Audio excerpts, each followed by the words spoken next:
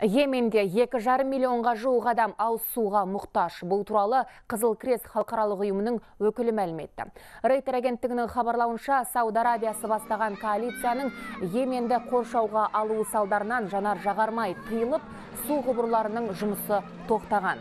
Қызыл Крест халықаралық ұйымы мұның соңы тырысқақ пен дизентерия ауруларының таралуына әкеп соқтырады дейді.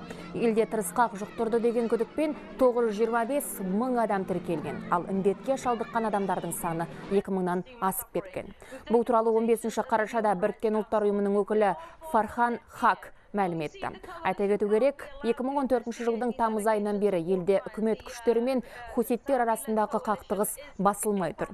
Сауд Арабиясы бастаған коалицияның 2015 жылы басып кіруі жағдайды тіптен ушықтырып жіберген. Ресми сана Риядқа зымыран атқан соң бұған жауап ретінде 5 қарашада коалиция Еменді толықтай қоршауға алды.